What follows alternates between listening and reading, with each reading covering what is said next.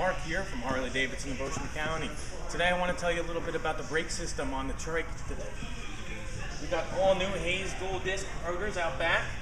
We got a completely redesigned parking brake, much easier to use. Up front, beefier six piston calipers, linked system, so that way when you hit the back brake, you're also going to get some front brake too. It's going to make you a better rider. We also got free floating rotors here, 16 millimeters larger than last year. Lots of nice changes on this bike. Come check them out.